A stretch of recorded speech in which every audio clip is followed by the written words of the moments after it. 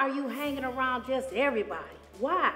Listen, you have to be around people that's going to inspire you to win. Okay? Have you heard that saying? I know you heard of it. It says your network determines your net worth. That's just the bottom line. Listen, find you some friends that's going to take you higher, that's going to make you level up, that's going to encourage you to do new things so that you can develop your mindset and become the person that you desire to be. It's so important to make sure you hang around people that inspire you. People always say, I inspire them.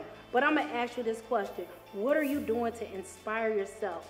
What are you doing to inspire others? It's so important that you think about that question. So, what I want you to do today is inspire somebody to win. Call your friend up and let them know how they inspire you or how grateful you are for having them be your friend.